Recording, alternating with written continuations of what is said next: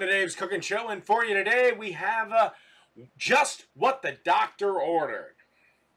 Yeah, it's a drink. Start off with a nice frosted glass filled with ice. Then, you want to get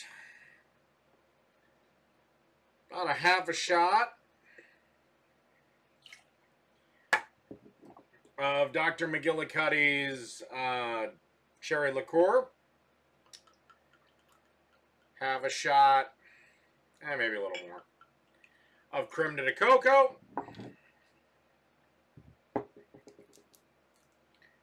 And think that you got all the liquor bottles open, but of course realize you don't. Come on.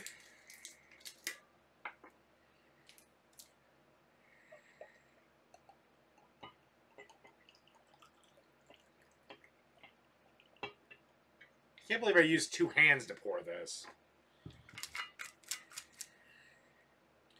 Shot of vodka.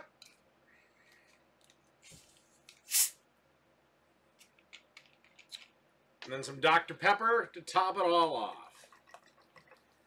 About, I don't know, four ounces or so of Dr. Pepper. Your glass should be about half full. Give it a little stir using your finger because you forgot something to actually stir it with.